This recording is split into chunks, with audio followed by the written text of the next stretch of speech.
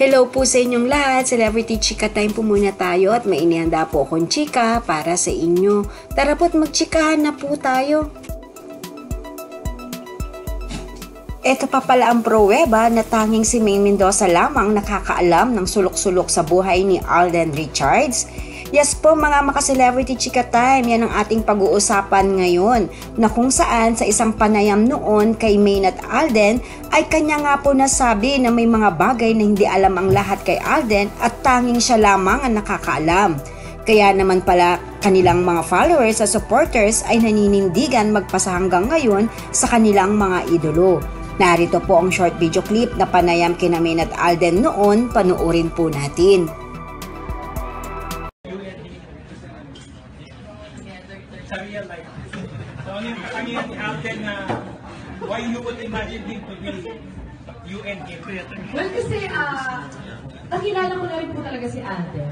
Yung mga hindi ko nakikita sa kanya ng mga tao, yung relationship po kasi namin, deeper na. So, merong mga things about him na hindi nakikita ng lahat, hindi alam ng lahat. And ako lang, nakakaalam. Pahayag nga ni Maine, deeper na kasi relationship namin eh, merong things na ako lang nakakaalam.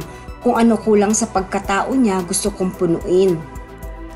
Ayan na nga po sa tagal ng magkasama ni Namin at Alden na halos araw-araw sa Itbulaga, sa teleserye, sa pelikula, maging pati show sa abroad noon, kaya naman maraming natutuklasan bawat isa sa kanilang pagkatao na hindi alam ng lahat, tanging sila lamang ang nakakaalam.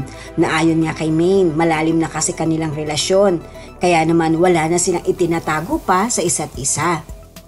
At ayon naman kay Alden, what I like about Maine ever since we had the chance to be together on and off cam is how she can always lend herself, not just an ear, but herself to me whenever I need someone. Para naman kay Alden, mapa-on o off-cam ay laging nandyan si Maine kapag kailangan niya. Hindi lamang para makinig sa kanya kung gusto niya ng makausap, kundi buong sarili ni Maine ay naandyan para kay Alden.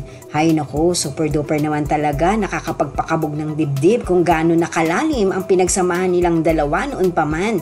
At isa po yan sa pinanghahawakan ng mga makamachard at makaaldab, kaya't nagpapatuloy pa rin sila sa pagtatanggol at pagmamahal sa kanilang mga idolo na ayon pa sa kanila, yan ang legit na samahan at hindi sarswela. Yan po ang aking chika updates for today. Salamat po sa inyong panunood. Huwag po kalimutang mag-subscribe. Pwede po mag-comment sa ibaba. Basta wag lamang po harsh o nakakasakit sa isa't isa. Salamat po muli. Spread love, not hate.